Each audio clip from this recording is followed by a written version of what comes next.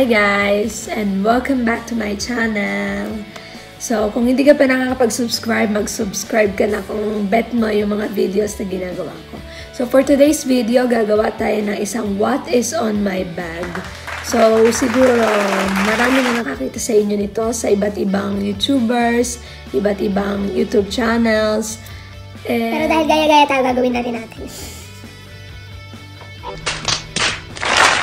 At dahil nga ikinontinue mo tong video na to, alam ko na gusto mo malaman kung ano ang laman ng bag ko. Oh, game na ba kayo? So, kukunin natin yung bag ko. Which is, ito lang siya sa tabi ko. Ah, bigat! Joke. So, ayan. This is my bag. This is an LV. Ayan. Social. Well, this one is my bag. Ayan. So, Okay. Na very comfortable siya kasi meron siyang handle. So, pwede mo siyang dalhin like this. Pwede mo siyang ilagay like this. Or, pwede rin siyang magkaroon ng sling like this. Ayan. Oh, mama ko. Ang bago ng kilikili ko. Na-distract sa amin ang kilikili. no. So, yan. What is on my bag? So, ang tanong, what is on my bag? Ano ba talaga yung nasa bag ko? Ito na. Yan, biyuksan na natin. The first one is my wallet. Yan. This is a Burberry. Yeah. So, ayan. Nakita mo yung wallet ko. Ah, ito maraming naman.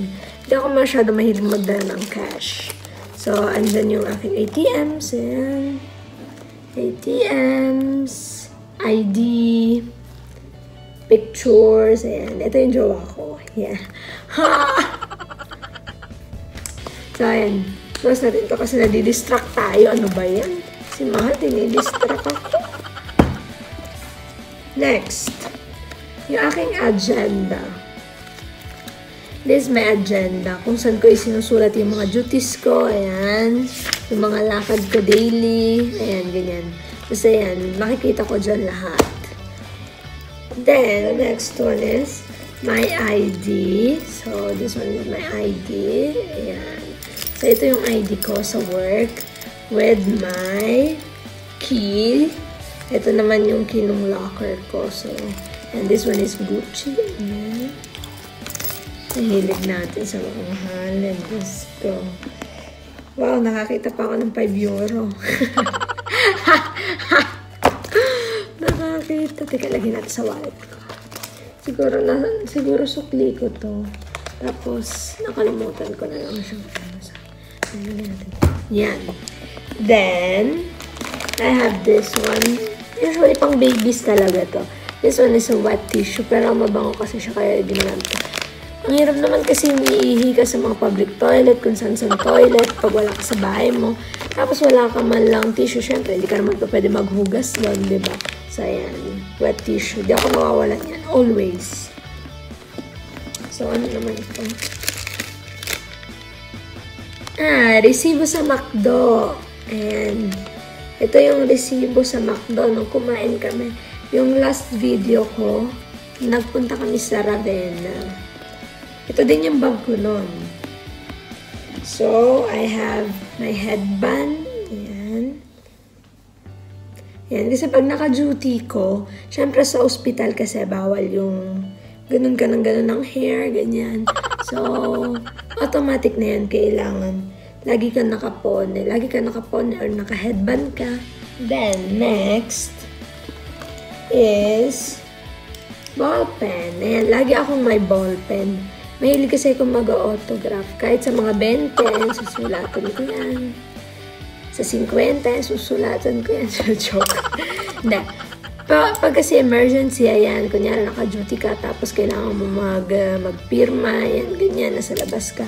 May kailangan ka isulat, number, may nakita kang kaibigan mo. Siyempre, kailangan, matik na yan, meron kang ballpen. Kung nakita mo yung crush mo, call me.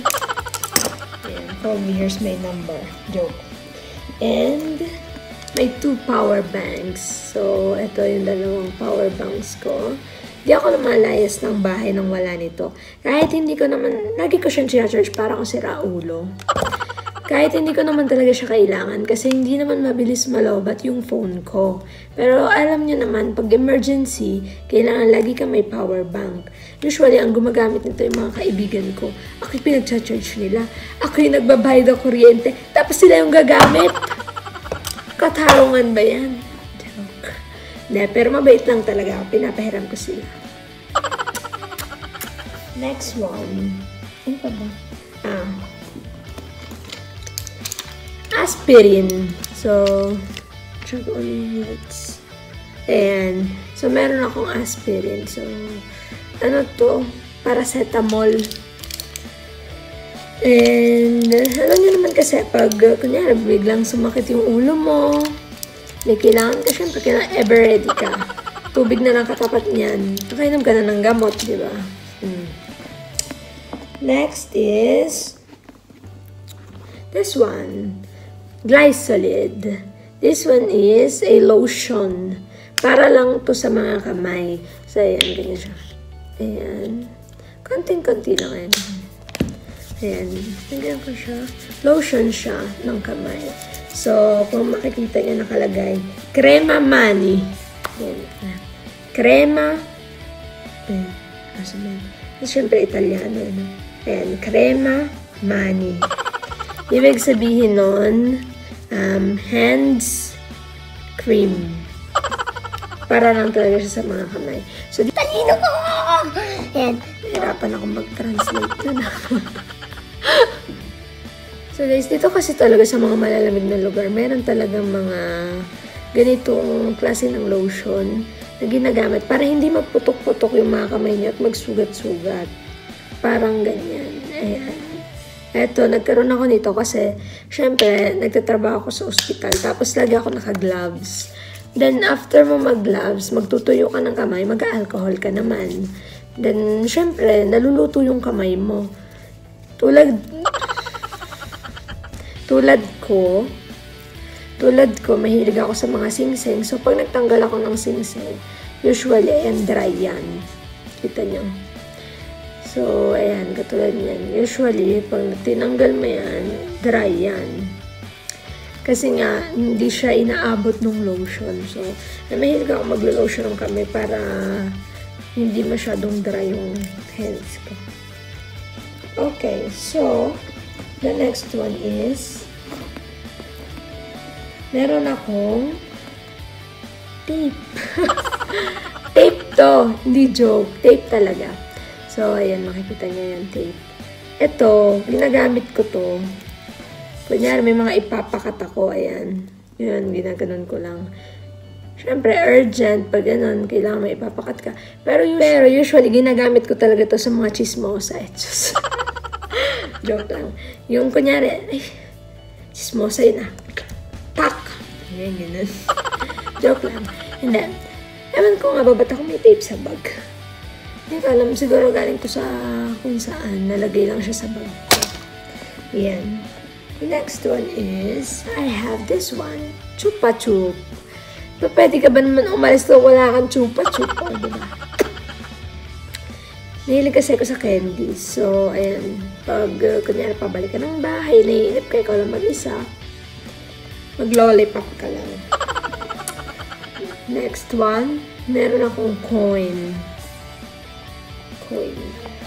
One euro coin joke. Ano yan? Chocolate coin. Ayan o. Oh. oh, nakikita niyo, nabubuksan siya. This is a one, uh, ayan, chocolate. Sarado natin kasi nag-toothbrush na ako. So, this is a chocolate coin. Aman ko, mahilig kasi ako sa mga matatamis. So, usually meron ako mga ganyan or meron akong dalang mga sneakers and ganyan, Mars. Napagbigas ka ganun. Tapos buksan natin po ang ganun. Tapos, ang pinakita ko, oh! Meron akong 10 cents. Ayan, 10 cents. Then, meron akong keys. Itong keys na to, ginagamit ko to to open this one. Yung padlock ng bag ko. Ayan, guys. Ayan, kita nyo. So, ayan. Open natin siya. Pero usually, wala naman to laman. So, I think wala din siyang, ayan. Wala siyang laman. Wala. So, balik na natin yung padlock.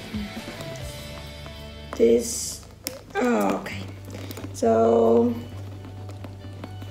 Teka lang, baka mawala ko yung keys. Di ko na siya mabuksan. So, okay. Wala nang natira sa bag ko kung hindi yung pouch ko. Pero hindi ko pa ipapakita sa inyo kasi gagawa nga ako ng, ng video kung ano yung nandun sa loob ng pouch ko, kung ano yung dinadala ko. Dahil kapag nagpapalit ako ng bag, usually, um, ang daladala ko na normal is this two. So, yung wallet ko, always. Then, yung pouch ko, always.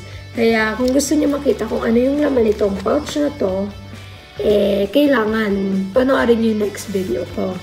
So, ilalagay na natin to dito. At, wala nang laman yung aking bag. Zero. Mm, wala na. Wala siya laman. Wala na. So, ayan guys. Ito na nga lahat ng laman ng bag ko. So, ayan, ilalagay muna natin yan dito. Chine-cherish ko yung mabuti. Ayan. So, ayan, lagay natin dyan. So, yan na nga po, yung laman ng aking bag. So, ito na lahat yon So, yan, yan, yan, yan, yan. Ayan, yan na lahat yon So, kung gusto nyo nga makita, sabi ko nga guys, kung gusto nyo makita what is on my pouch, kailangan panoorin nyo yung part 2 ng video na to. At dito na nga nagtatapos yung aking video. So, sana nagustuhan nyo. I-share ko lang naman sa inyo yung laman ng bag ko. Al alam ko na nakita ko... Uh, take two, take two. So, alam ko na nakita nyo na yung video na to in hundreds, thousands, millions of YouTubers. Pero gumawa pa rin tayo ng sarili nating version. So, sana nag-enjoy kayo dun sa mga bagay na i-share ko, sa mga bagay na ipinakita ko sa inyo, dun sa mga daily use ko na talagang lagi lang siya nasa, ba nasa bag ko, talagang mga essential siya. So, ayun lang po. At kung nagustuhan mo to, mag-thumbs up ka na. Pwede ka rin mag-share, mag-comment, at syempre mag-subscribe ka na rin kung hindi ka pa nakasubscribe sa channel ko. So, thank you very much for watching and see you on the part 2 ng video ko. So, what is on my pouch sa susunod. So, bye!